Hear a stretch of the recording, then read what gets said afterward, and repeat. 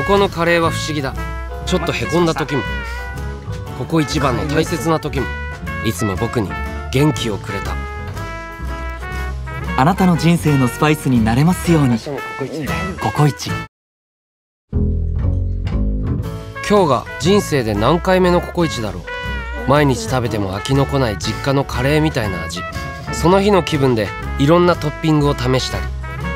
超大盛りライスや辛さにチャレンジしたこと。も誰かと一緒に楽しく食べたい時も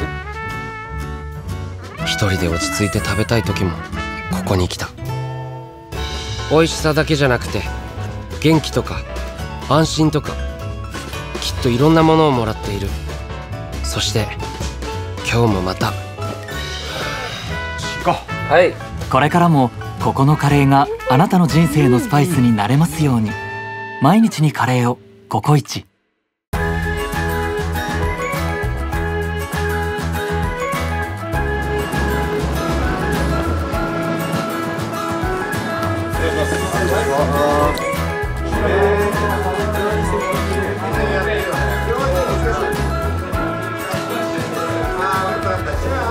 後ろ通るから動線開けてくださいはいよスタート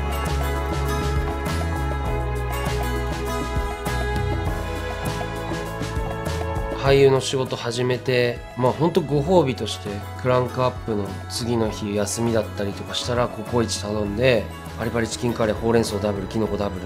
仕事的に1回でたくさんの栄養を取りたくて だからなんかいろいろ量多めにトッピングしちゃうんですけど。この高さでいきますか。あそうですね。あいいですねいいですね。はいはい。はいはいはいはいはいはい。